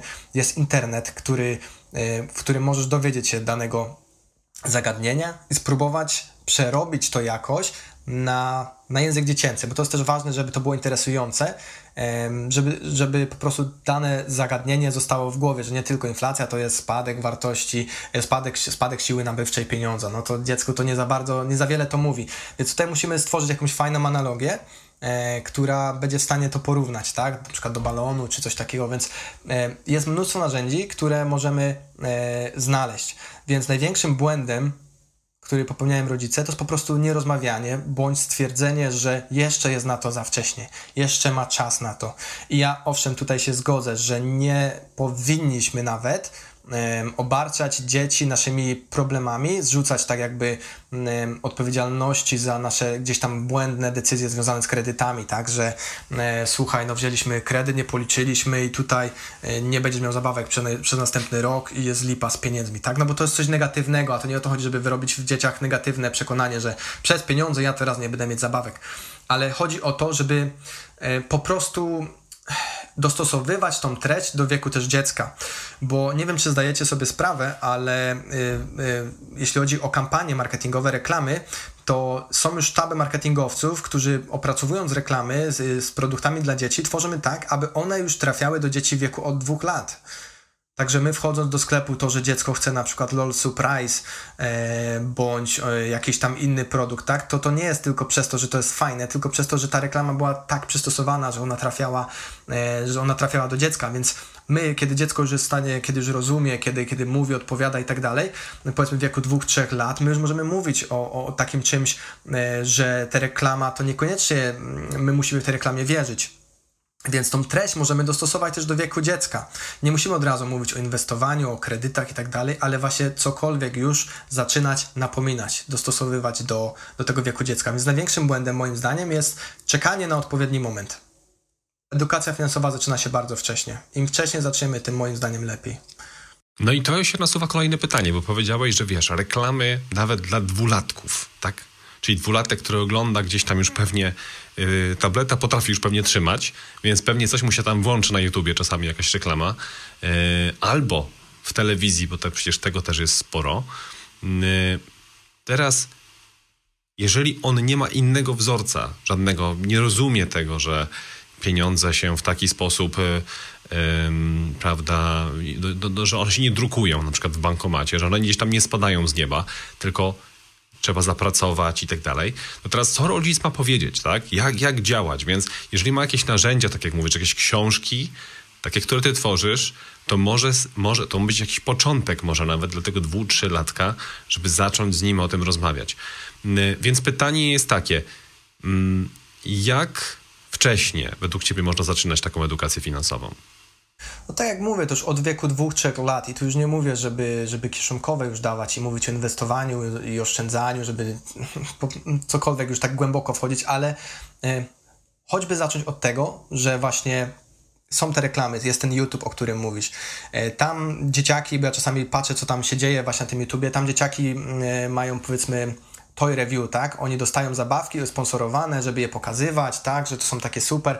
No i to też jest z życia wzięte. Julka mówi, że no Ryan przecież ma e, tutaj do, codziennie dostaje nową zabawkę do tego, żeby się nad nią pobawić, tak? No i ona też chce, tak? Ona chce, no bo przecież Ryan ma, no to on ją dostaje, on ją ma po prostu. Tam, tam nie ma pokazane tej transakcji, że tam jest pieniądz, e, i, i ten że trzeba za to zapłacić, bo ci rodzice po pierwsze za to nie płacą, bo oni to dostają to sponsorowane, a po drugie, jeśli my chcemy mieć taką zabawkę, to my musimy za nią zapłacić. Więc co tutaj możemy pokazać? Przede wszystkim to, że pieniądze się na przykład kończą. Ja uważam, że owszem, tak jak oszczędzanie, inwestowanie to jest coś za trudnego dla dwóch, trzech latków, tak skończoność pieniądza to jest coś, co my już możemy fizycznie pokazać. I choćby możemy to zrobić na przykład e, zabawą w sklep. Tak, mamy zabawkową kasę, mamy fasolki, guziczki, żetony lub prawdziwe pieniądze najlepiej. Byłbym za tym, żeby to były prawdziwe pieniądze.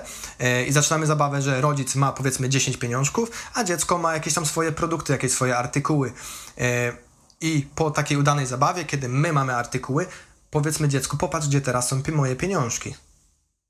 One są u ciebie. Ja już nie mam, czyli co się stało z pieniążkami? Skończyły się. I wtedy, będąc w sklepie, dziecko powiedzmy będzie chciało zabawkę, to można powiedzieć, dobra, nie ma problemu, kupimy tą zabawkę, ale mi się wtedy skończą pieniążki na jedzenie. I uwierzcie, naprawdę, spróbujcie tego u siebie, to działa dzieci są w stanie zrozumieć coś takiego, jeśli pokażemy to na fizycznym ekwiwalencie, jakim są pieniądze, że to po prostu się kończy. Czyli skończoność pieniądza to jest jeden z elementów edukacji finansowej. I to możemy już zaczynać od wieku 3, 2, 3, 4 lat, bez, bez najmniejszego problemu. Im dalej w las, im starsze dziecko, tym możemy wprowadzać poważniejsze elementy. No, mój syn choćby ma 8 lat, a już zaczął inwestować na przykład, więc mm, tak, tak to działa. Możemy mhm. zacząć bardzo wcześnie. Tak jak, mamy, jak dzieci mają kontakt. Fantastyczny pomysł. Czy masz jakieś takie miejsce, gdzie te wszystkie pomysły twoje, na przykład zróbcie tak, a tak, żeby to wyjaśnić, gdzieś zbierasz w jednym miejscu, żeby można sobie było poczytać? Wiesz co, ja na mojej stronie kodbiznesik.pl y, ukośnik darmowe myślnik materiały e, bez polskich znaków. E, tam na przykład y, mam takie darmowe do ściągnięcia y, plansze do wydrukowania na przykład. To są już mhm. akurat dla starszych dzieci, ale na przykład przy pomocy kart do gry możemy przedstawić dziecku różnicę pomiędzy przychodem a dochodem. Hmm. Coś, co potencjalnie jest no, czymś też tak prostym, a z kolei zabiło wiele biznesów poważnych, bo nie, nie, nie umiały odróżnić przychodu od dochodu. A my za pomocą kart do gry, których obliczamy cenę lemoniady, pokazujemy, że na cenę lemoniady składają się nie tylko, e, nie tylko ich cen, że na cenę składają się też produkty, czyli koszta danego, e, danego produktu, tak? Czyli dziecko powiedzmy oblicza sobie na jednej karcie koszty, tu odejmuje i tak dalej.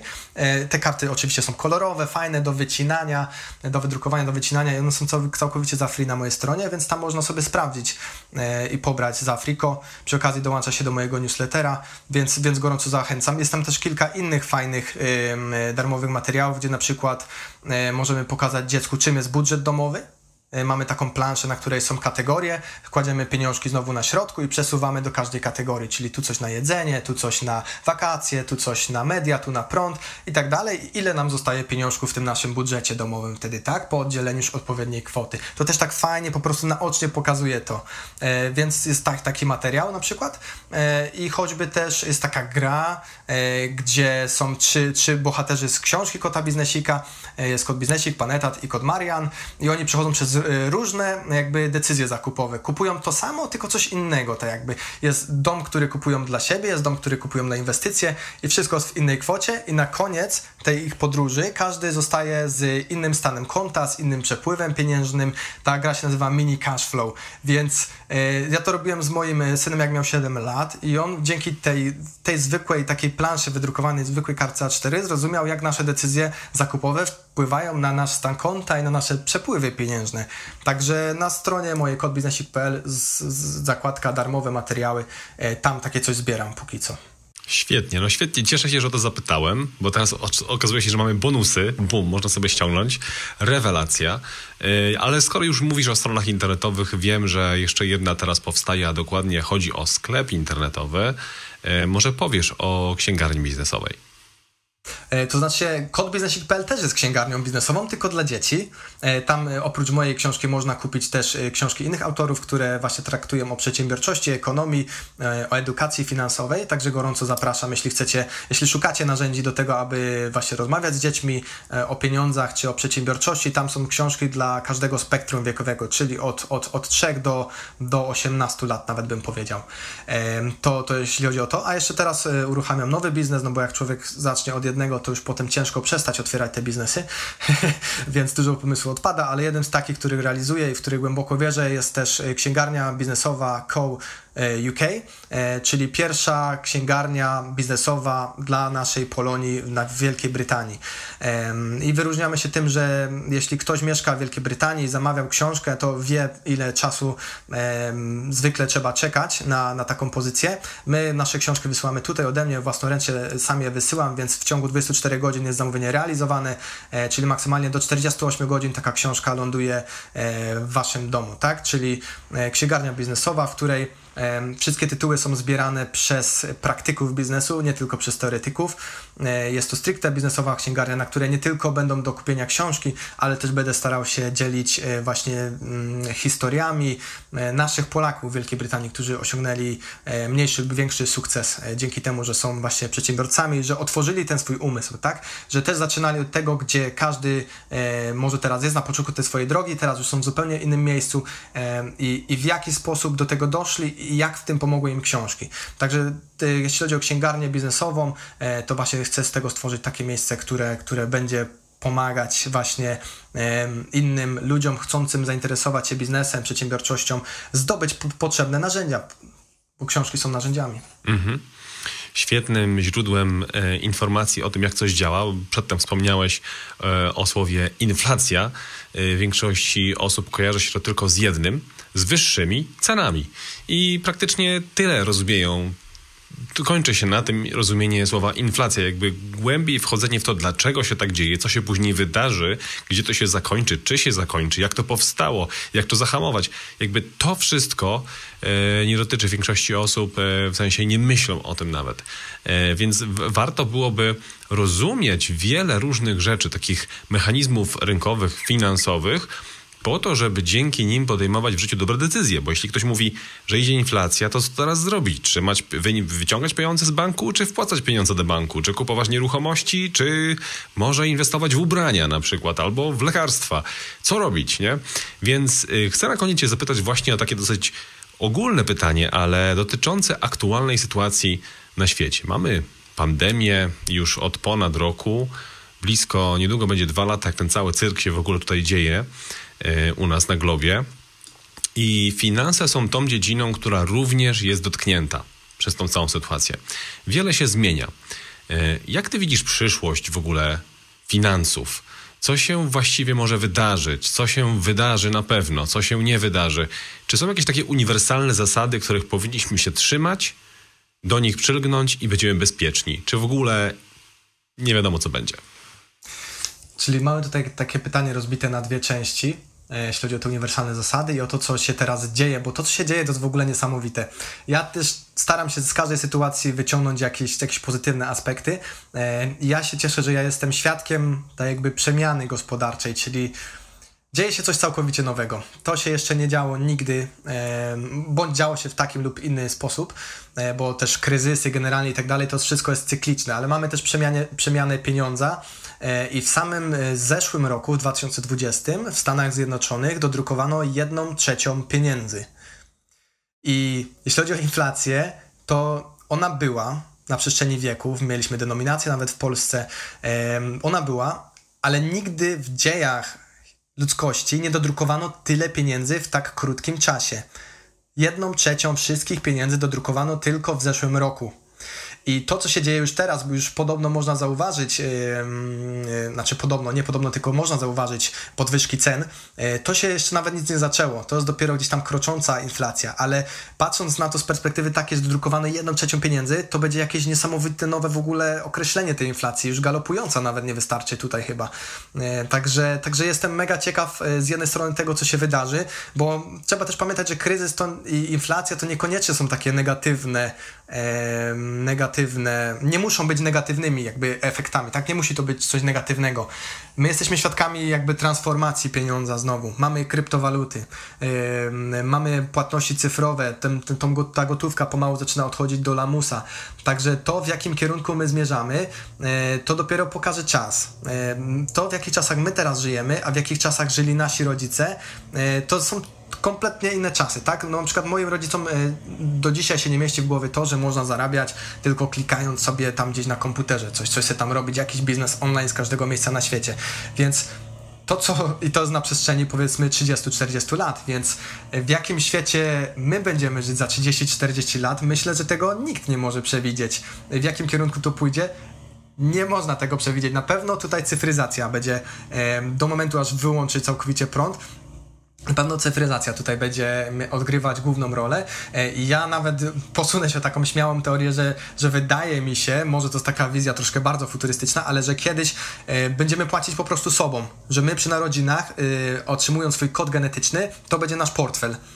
I my na nim będziemy gromadzić swoje środki i my po prostu będziemy płacić mówiąc komuś, że płacę tobie. I ta transakcja gdzieś się będzie tam dziać w chmurze i my będziemy w ten sposób płacić. I to z jednej strony wygodne, fajne, ok, ale z drugiej strony to też jest duże zagrożenie, tak, że e, ktoś będzie mógł te wszystkie nasze środki gdzieś tam jakby zablokować, bo cyfryzacja oprócz wygody też niesie wiele takich e, zagrożeń, więc tutaj będzie miejsce do popisu, jeśli chodzi o nową gotówkę, bo gotówka jest wolnością i człowiek na przestrzeni wieków zawsze znalazł jakiś sposób do tego, żeby jednak tą wolność jakoś utrzymać, więc mimo tego, że, że, że są banki centralne i tak dalej, że mają mniejszy lub le, mniejszy mniejszą większą kontrolę nad naszymi pieniędzmi, my i tak mamy jakieś tam sposoby na to, żeby tą gotówką operować.